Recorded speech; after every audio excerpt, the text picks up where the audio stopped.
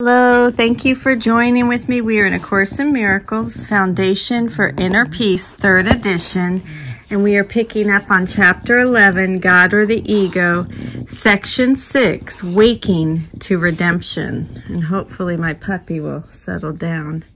She follows me everywhere. So this is paragraph 6 through 10 of chapter 11, God or the Ego, section 6, Waking to redemption. Resurrection must compel your allegiance gladly because it is the symbol of joy. Its whole compelling power lies in the fact that it represents what you want to be. The freedom to leave behind everything that hurts you and humbles you and frightens you cannot be thrust upon you but it can be offered you through the grace of God.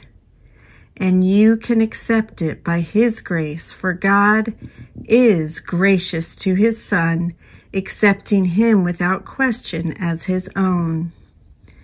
Who then is your own? The Father has given you all that is His, and He Himself is yours with them. Guard them in their resurrection, for otherwise you will not awake in God, safely surrounded by what is yours forever. You will not find peace until you have removed the nails from the hands of God's Son and taken the last thorn from his forehead. The love of God surrounds his Son, whom the God of crucifixion condemns. Teach not that I died in vain. Teach rather that I did not die by demonstrating that I live in you. For the undoing of the crucifixion of God's Son is the work of the redemption, in which everyone has a part of equal value. God does not judge his guiltless Son having given himself to him, how could it be otherwise?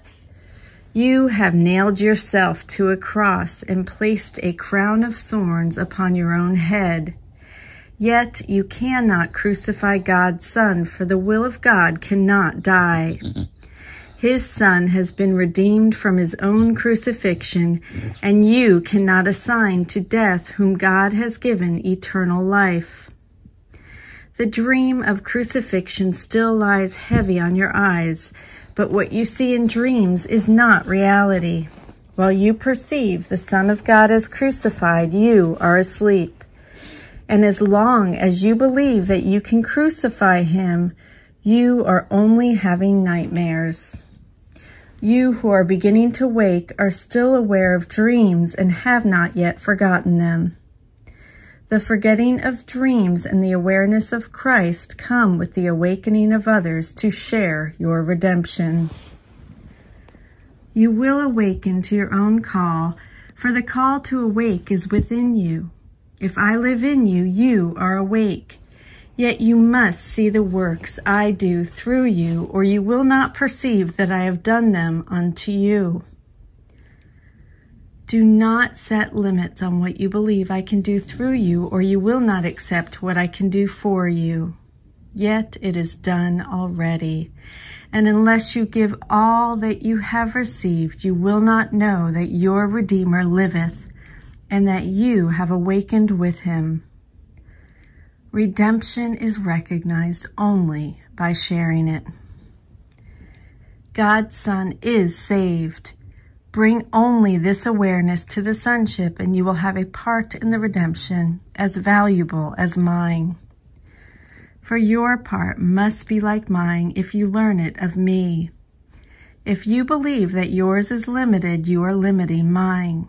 There is no order of difficulty in miracles because all of God's sons are of equal value and their equality is their oneness. The whole power of God is in every part of him, and nothing contradictory to his will is either great or small. What does not exist has no size and no measure.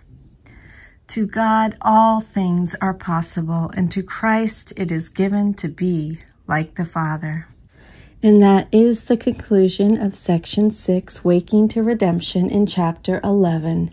I will record a meditation on Lesson 122 separately if you would like to join. Thank you.